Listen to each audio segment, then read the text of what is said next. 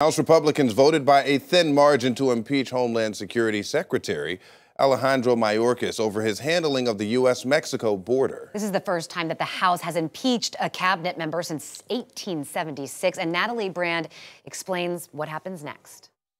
On this vote, the yeas are 214 and the nays are 213. The resolution is adopted.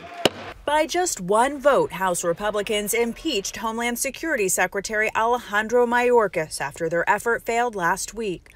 Last night, we proved to America that we can win when we work together and actually uh, hold Democrats accountable. According to their articles of impeachment, the Homeland Security Secretary's high crimes and misdemeanors include a willful and systemic refusal to comply with border law. In a statement after the vote, President Biden warned history will not look kindly on House Republicans for what he called their blatant act of unconstitutional partisanship.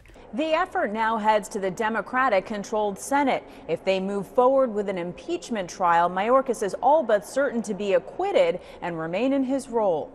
A trial would put the political fight over the southern border on full display and adds to the clash over a $95 billion foreign aid package for Ukraine, Israel, and the Indo Pacific that the Senate passed Tuesday with bipartisan support. I don't understand what the Republicans are doing. Uh, they just keep blowing up any deal that uh, comes forward. House Speaker Mike Johnson is demanding border security be a part of the aid package. The Republican led House will not be jammed or forced into passing a foreign aid bill that was opposed by most Republican senators and does nothing to secure our own border. Those provisions had been in the Senate bill but were removed last week when a number of Republican lawmakers said they were not strict enough. Natalie Brand reporting and adding to this, Congress also faces another budget deadline, March 1st. That's to avoid a government shutdown.